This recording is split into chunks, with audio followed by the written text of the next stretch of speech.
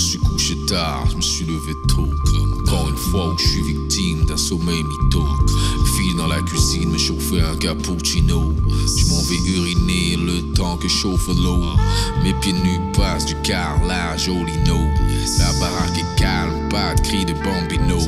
Tout le monde dort, vit une autre vie en rêvant. Le ciel est couleur or, c'est le soleil levant. 20 degrés, température ambiante. Matinée de nature fuyante. Le calme restaure l'âme dans cette routine ennuyante. De la nuit émergée, dans la paix immergée.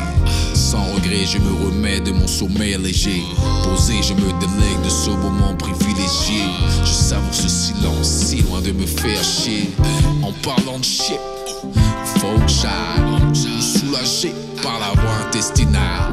Fais pas le choquer, ce n'est que la vérité. On n'est que des êtres humains, pas encore des divinités. Faisons preuve d'humilité. Par la simplicité, faire preuve d'humilité. Je suis pas un être dépourvu de sensibilité. Je développe cette qualité sans faire dans la fragilité. Parfum de liberté dans cette clandestinité. Me perds dans le moment présent pour mieux me retrouver. Breakfast, besoin d'une rupture pour me ressourcer. Cette société à bout voudrait me pousser. Tout a un prix, mais je me fais toujours rembourser. La vie n'est pas facile, mais je l'ai quand même épousée.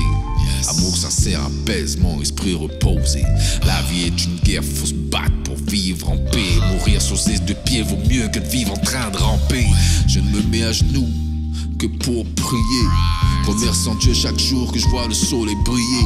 Apprécier les bonnes choses, même confiné. On n'est pas né pour vivre déprimé. Respirer, c'est exprimer une gratitude innée. La mort in fine est dans notre destinée. Vivre avec, car nul ne peut l'esquiver. Chaque instant est peut-être